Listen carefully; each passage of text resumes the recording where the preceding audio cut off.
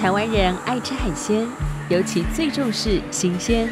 在板桥地区小小的街角，有一家专注于新鲜海鲜的小店，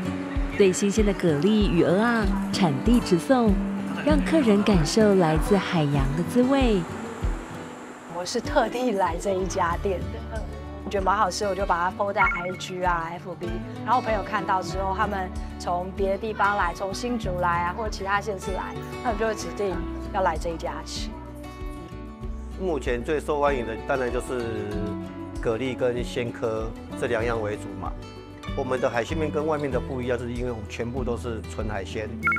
那几乎什么料都吃得到，所以它代表了新鲜澎湃。一走进店，明亮整洁的氛围令人安心。点上一碗招牌的海鲜面，澎湃丰富的海鲜种类，鲜甜的汤头，让幸福感直接爆棚。我觉得还不错哎，我很喜欢它后面这些就是透明的，就是你会看到厨房人员然后的这个料理过程，那你会觉得蛮安心的，就就感觉很干净这样子。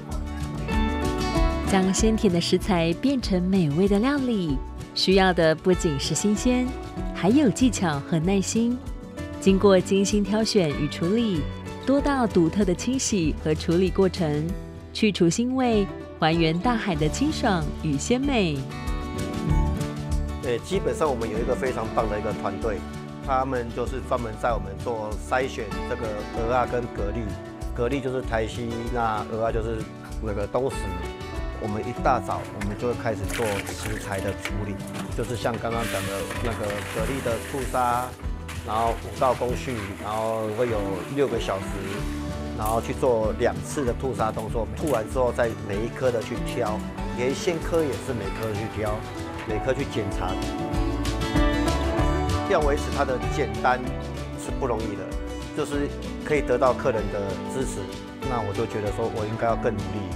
把它做下去。对顾客而言，吃海鲜不仅是解决一餐，更是一次与大海相连的体验。